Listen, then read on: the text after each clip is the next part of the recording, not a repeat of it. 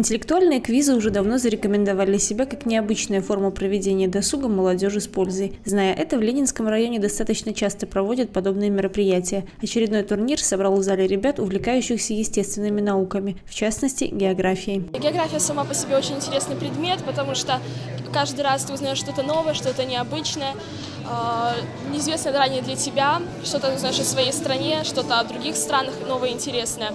Но вообще, э, да, такого рода, принимала в, в э, играх такого рода участие и также надеюсь на хорошее проведенное время.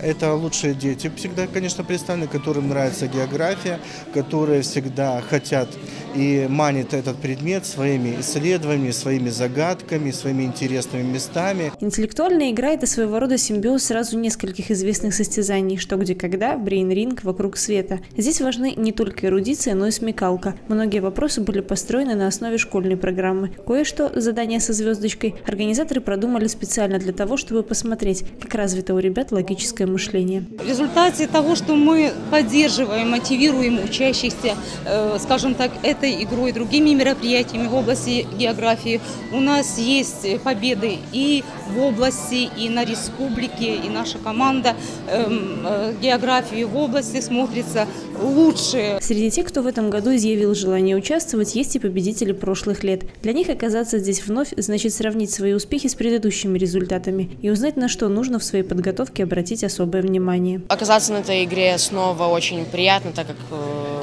воспоминания э, накатывают. И также э, география интересна, и то есть географии очень много взаимосвязей, поэтому можно строить какие-то причинно-следственные цепочки. Победителей, конечно же, ожидали памятные подарки, но не это главное. Важно то, что свое свободное время ребята провели с пользой. Весело и интересно.